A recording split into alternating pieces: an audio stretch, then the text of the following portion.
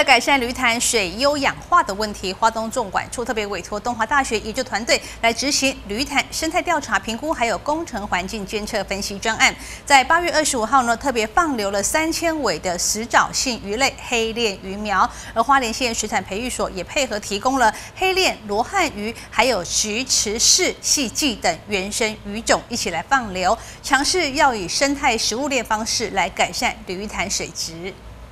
华东纵管处因为鲤鱼潭长期有氧化，委托东华大学进行研究，也提出了建议方式。从一百零五年开始放流食藻系鱼苗，目前发现鲤鱼潭有氧化程度状况稳定。目前的这个鲤鱼潭的水质状况，它目前是呈现没有恶化的趋势了。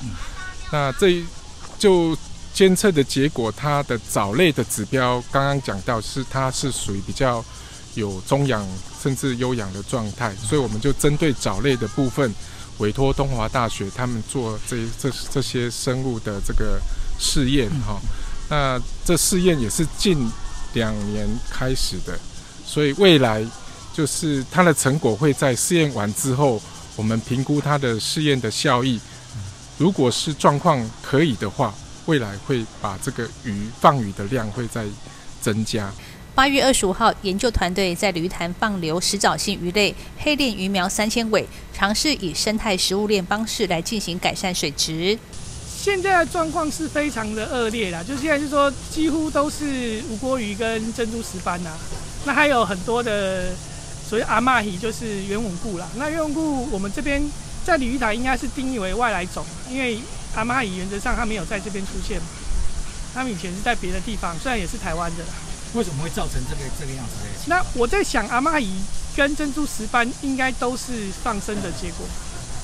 所以才造成这边的问题。那从大概六年前我就开始有监测的计划了，然后六年前的生物多样性还是比较多的，就是我们会抓一些红猫啊，或者是菊石四细剂或罗花鱼都抓得到。那可是这三年，最近三年已经抓不到了，所以才会请那个水培所他们来共襄盛举，他们会放一些原生鱼类。那这些比较稀少，像菊石四季，它放下去会不会又对，还是会被这些鱼吃哎，这是有可能的。那我们先试试看，因为这个你没有放就不知道。那本身他们就是有有这种有这种鱼鱼苗在，所以我们就试试看。这一次除了三千尾的黑链鱼苗，花莲县水产培育所也提供了三百尾的黑链。两千尾的罗汉鱼，还有两千尾菊池式细鲫等鱼种共同来放流。这些台湾原生种鱼类不会造成鲤鱼潭内物种的生态竞争，期盼可以增加潭内生物多样性。周边的商圈业者也明显感受到潭水水质有所改善。刚开始前几年的的确确是有水质淤氧化相当严重哈，那现在因为经过中管处请了东华大学来做监测以后，呃，慢慢有在改善。而且这个水质在监测下感觉到它还是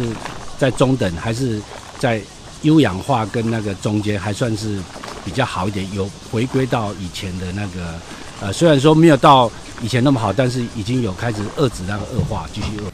中管处希望透过环保、自然又有效的方式来改善鲤鱼潭水质，不仅维护生态景观，也可以让周边商圈得以发展繁荣。谢瑞慧，寿丰乡报道。